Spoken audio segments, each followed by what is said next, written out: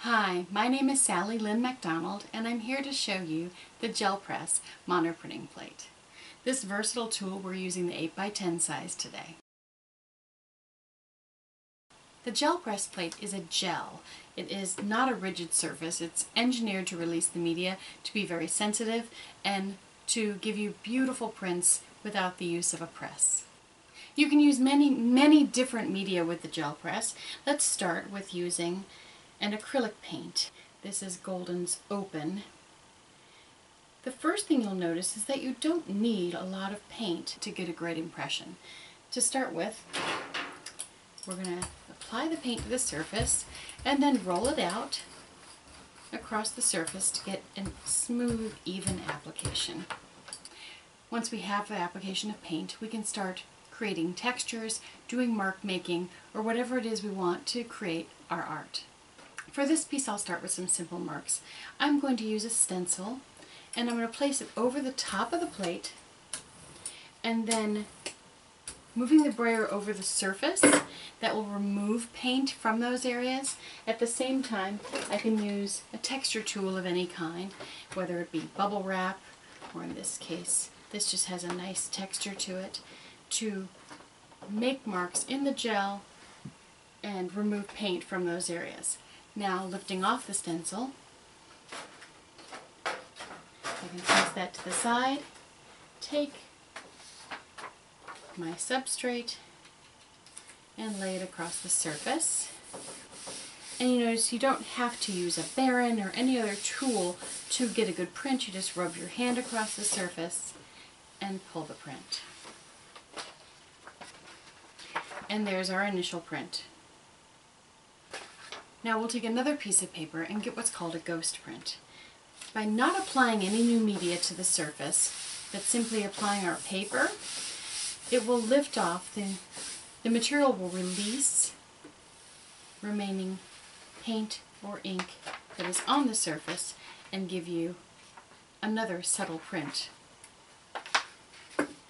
And depending on how much media you have applied to the paint or which medium you're using, you'll get a various number, various number of subsequent prints until the plate cleans itself. Now we're going to layer those prints. And what I'm going to do is take another color of paint in a contrasting color. Once again, you don't need a lot. I'm going to apply this across the surface of the plate. And I'm applying it evenly, but you can apply it however you'd like. And then once again, I want to do a little bit of mark making.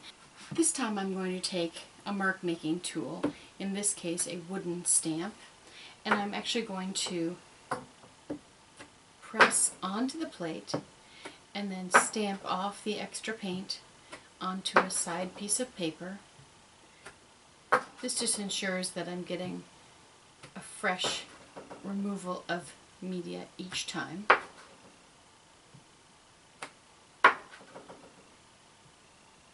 Glass or plexi, the gel press plate is not a slick surface. And now I'm going to apply some masks to the surface just to block off these areas so that when I pull my print,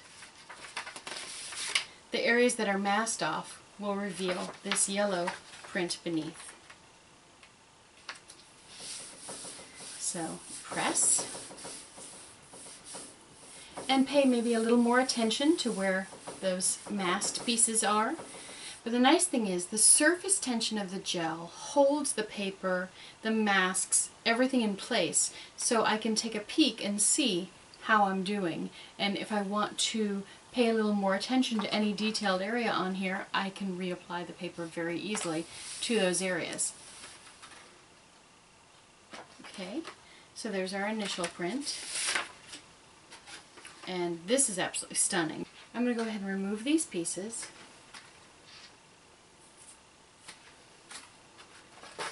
And then get a ghost print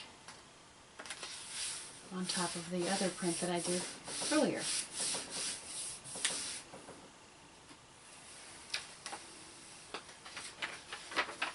So you can see these delicate, subtle images that you get and every single detail captured.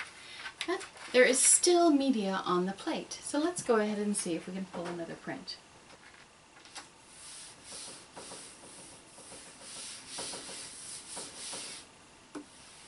And look at that. Another beautiful print. The gel press keeps giving and giving and giving beautiful prints as long as there is media on the plate. So your mark making never goes to waste and it, the plate cleans itself. And I've shown you several applications where we just used one color, but you can always mix colors on the plate and you can mix different viscosities of paint um, and you know just get really fun and interesting patterns from that.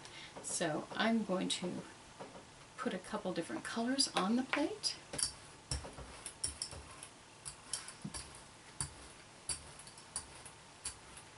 We're going to do a little bit of mark making, but I'm just going to show you how sensitive the plate is and how good it is at revealing details. I want it to be my focal point, so I've placed it down first. Now I'm going to take a simple texture and apply that over the top. If you want to bring in a brush, and do any additional mark making. We can do that as well. And you can use canvas, fabric, it really depends on what medium you've applied. My paper and placing it over the top. Now, has dimension. As you can see with the paper, I used a thin paper so that you could see how much dimension it has, but it's not sharp. So as I press into this paper, I'm doing that on purpose so that I will get a really good impression of that artifact on my print. And as you'll see, when I lift off the print, I have a masked area, but as you can see, the paper is also being held in place. And if I simply remove this artifact out of the way, its ghost print is left on the plate. And now I'm going to bring the print straight back down where it was, and I'll get that ghost print printed within the mask. And look at that beautiful detail. Isn't that gorgeous? And let's see if we can get an actual, another ghost print off of this as well. These are sometimes fun to use just as a starting place for your next print. I don't like to waste a drop of paint or media on my plate.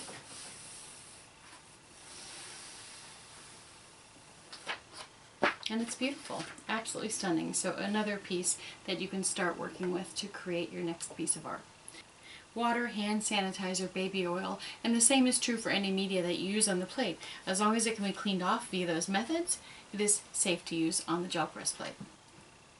So that's the beauty of gel press printing. Simple tools, a variety of media, and the possibilities are endless. I hope you enjoyed our video today. Thank you for watching.